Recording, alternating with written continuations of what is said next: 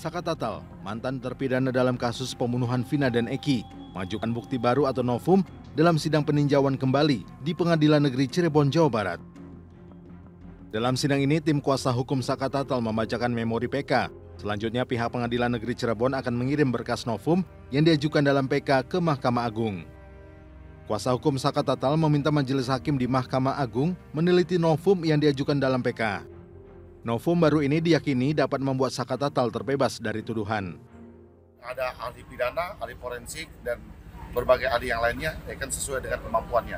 Ada juga Pak Susno, Pak Susno akan datang. Ada, ada. Ah, Pak Susno juga akan datang, Pak. Uno juga akan datang. Jadi kita yakin bahwa memori PK yang kita ajukan menurut ya kan bukti-bukti novum kita sangat sempurna. Insya Allah mudah-mudahan Mahkamah Agung yang akan mengadili daripada eh, memori PK kita ini mengabulkan.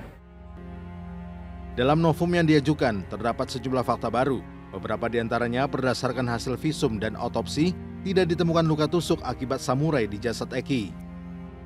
Pada novum tersebut juga disebutkan terdapat luka sabetan samurai di wajah Vina yang diduga dilakukan oleh salah satu DPO bernama Andi, sehingga diyakini tidak ada keterlibatan Saka dalam kasus kematian Vina dan Eki. Ditemukan juga serpian daging di baut penopang lampu penerang jalan di lokasi kejadian dan kerusakan pada sepeda motor Eki akibat gesekan dengan badan jalan.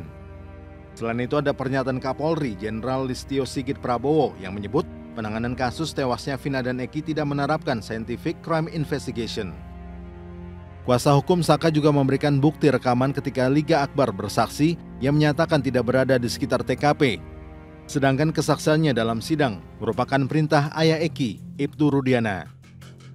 Novum terakhir, rekaman Deddy Mulyadi yang menerangkan anak tua RT Pasren bernama Kavi yang ikut nongkrong bersama lima terpidana namun tidak pernah dihadirkan sebagai saksi di pengadilan. Sidang lanjutan PK Saka Tatal akan kembali digelar pada hari Jumat 26 Juli dengan agenda kontra memori atau mendengar jawaban dari termohon. Dari Cirebon, Jawa Barat, Abdul Rahman untuk CSI, RTV.